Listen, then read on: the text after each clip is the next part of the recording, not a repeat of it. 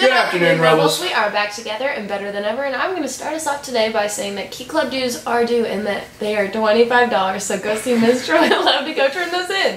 Attention FFA members, your dues are hmm. also $25, and the deadline for that is this Friday. And any junior wishing to run for a class office needs to see Miss Nurse Nancy as soon as possible. All right, so homecoming is this week, and today obviously was sports gear day, but we hope that everybody has on your hippie day or your hippie gear today. So tomorrow is also red and gray, so make sure that you're dressing up. You want to tell us a little bit about the tickets, Riley? No. Okay, well they're two dollars before the dance, and at the door of the dance they're three dollars. But make sure to buy them beforehand. But if you do buy them beforehand, make sure to bring them to the door. These following HHS students have been cast in Little Women and have accepted their roles. We got Lexi Bruce, Danny Jordan, Ava Pendarvis as Jo, Autumn Pickle, Maddie Ross, Kayla Sue Pickle, Emily Gines, Annabelle Prine, Connor Galbraith, Wes Brewer, Bo Reagan, Sandra Gishwin, Cameron Smoot.